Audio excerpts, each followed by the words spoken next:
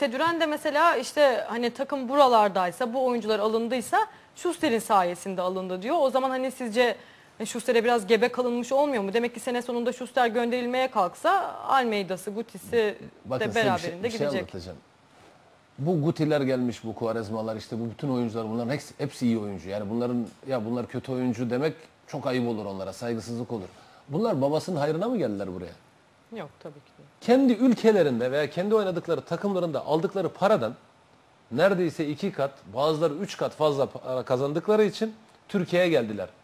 Yani e, sen bunlara senelik şu kadar milyon euro vermeseydin de 500 bin euroya Schuster burada diye gelecekler miydi? Yok tabii. Bıraksınlar bu işleri ama Schuster referanstır. Schuster'i arayıp konuşurlar. Nasıl orası? Adam da memnuniyetini dile getirir, anlatır. Bu bir etkendir. ama Schuster için geldiler. Kim ki onlar ya? Yani 100 yıl aşkın bir Beşiktaş kulübü var. Tabii. O oyuncular Beşiktaş'a gelmiyor.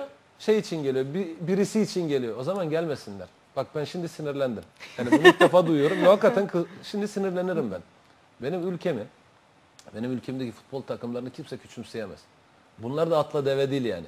Eğer bundan 10 sene önceki Türk oyuncular olsaydı bunların hiçbirisi alınmazdı. Tabii. Gerek de kalmazdı zaten. Bunlara gerektiğinden, Beşiktaşlı oyuncularla ilgili söylemiyorum, genel konuşuyorum. Gerektiğinden fazla değer veriliyor. Bunlara gerektiğinden fazla para veriliyor. Bunlar lüks içinde yaşıyor. Böyle diyorlar ki biz nereye? Cennete geldik. E tabi cennete geldin. Ondan sonra da e aslında biz gelmezdik de işte Ahmet'in hatırına geldik, Mehmet'in hatırına geldik. Böyle bir şeyi kabul etmem söz konusu değil. Ee, böyle bir şey söylediyse de yöneticiler bence doğru söylemedi. Tabii o şartlar sağlandıktan sonra takımın bu başında ben de olsam giderken- gelirler belki. Ben yıllarca futbol menajerliği de yaptım. Yöneticilerle de çok gittim transferlere. Ya yalvarıyoruz bunları almak için ya. Adam diyor ki ben bunu istemiyorum. Mesela şeyde e, geçen gün Atıf Keçeli ile karşılaştım. E, bir havaalanında Atıf abiyle. Şey anlatıyor. Almanya'da 1-200 anlaşmış. Sonradan bir duymuş Simao'nun 1.800 aldığını yarım sezon için demiş ki ben de 1.800 alırım gelmem. Mecbur kalmışlar ödemişler. Gelmiyor musun? Hadi kardeşim bak işine.